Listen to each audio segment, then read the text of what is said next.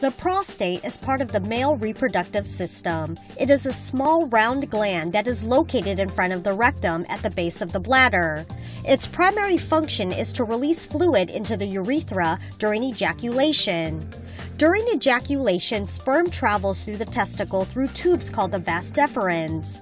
The vas deferens runs behind the bladder and enters into the prostate gland.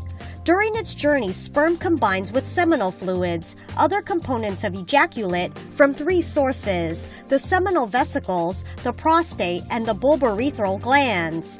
The combined fluids called semen or ejaculate then travel the length of their urethra and out of the body via the penis. Prostate cancer develops as small nodules or bumps on the surface of the prostate, which can be detected during a rectal examination.